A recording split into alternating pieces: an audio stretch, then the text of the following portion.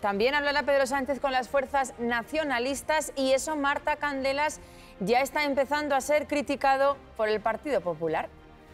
Decía hace unos minutos el diputado Jaime de Olano que la comparecencia de Sánchez ha sido esperpéntica. Dice que si la semana pasada asistíamos al blanqueamiento de Bildu en Navarra, hoy ha blanqueado a Junqueras y a Puigdemont, a Esquerra y al PDCAT. Dice que simplemente son nacionalistas cuando en realidad han cometido un golpe de Estado. También Jaime de Olano pregunta al Partido Socialista, Pedro Sánchez, ¿hasta dónde están dispuestos a llegar de cara a su investidura? Y esto es lo que ha dicho aquí Jaime de Olano.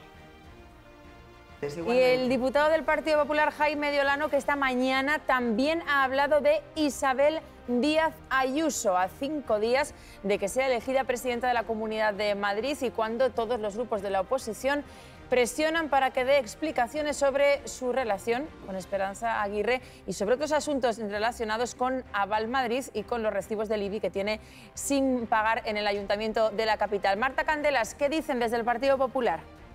Ha dicho hace unos minutos Jaime de Olano que la izquierda, cuando pierde las elecciones o cuando no, forma, no logra formar gobierno, lo que hace es embarrar el campo. Dice también Olano que los madrileños afortunadamente van a disfrutar de cuatro años de gobierno de Isabel Díaz Ayuso, del Partido Popular, cuatro años de libertad y además Añade que los madrileños, eh, para los madrileños, Isabel Díaz Ayuso no solo representa el presente, sino también el futuro, representa el programa de Partido Popular y también a todo el espectro del centro derecha. Así lo ha explicado Jaime de Olano.